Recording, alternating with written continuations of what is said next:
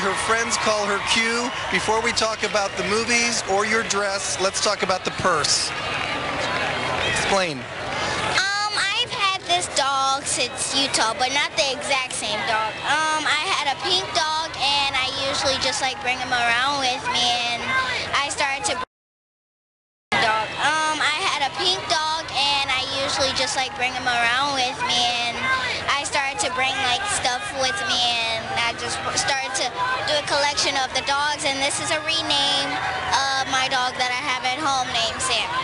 And did you pick your own dress? Did you have a lot to choose from? A little, yeah, a little. Is there a designer attached to it, or did you get it at a regular department store? Um, it's a um, person made. Armani Jr. Okay, very good.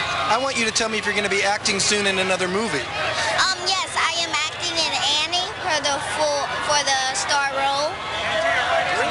That's very fantastic. Is mom here? Yes.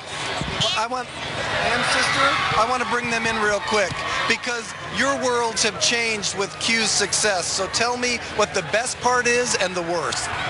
Um, the best part is getting to take part in this ceremony and the other ceremonies because she likes to take the pictures, she likes to do the interviews, and if it's fun for her, it's fun for us.